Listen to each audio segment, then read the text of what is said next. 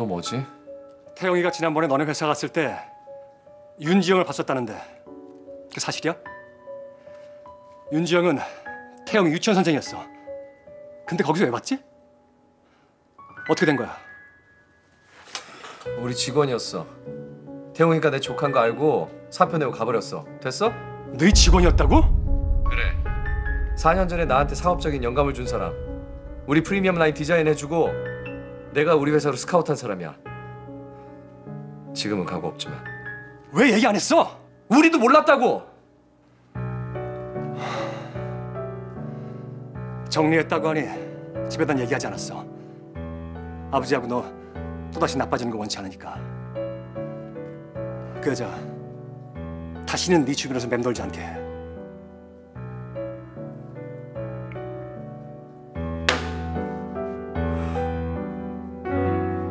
아 누나 죽어도 안 오시겠다는 거야? 잘 모르겠어요. 이러니 여자들이 욕먹지 공과사를 구분 못한다고 선배, 뭐? 내 말이 틀려? 우리 누난 그렇게 무책임한 사람 아니에요. 지금 얼마나 힘든 줄 알아요? 알지도 못하면서 말들 좀 함부로 하지 마시라고요.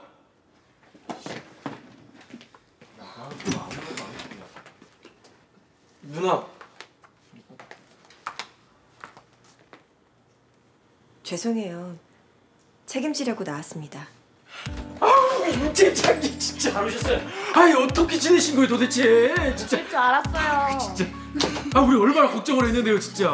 오시느라 고생하셨어요. 별일 없으셨죠? 예? 얼굴이 좋아지신 거 같고.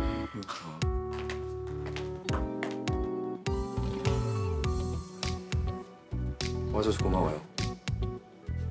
제가 있을 때 했던 계약이니까 책임지는 게 맞는 것 같아요. 이 프로젝트까지만 하고 그만두겠습니다. 여기까지 오기 힘들었을 텐데 네, 힘들었어요. 그러니까 일에 집중해서 잘 마칠 수 있도록 저 힘들게 하지 말아주세요.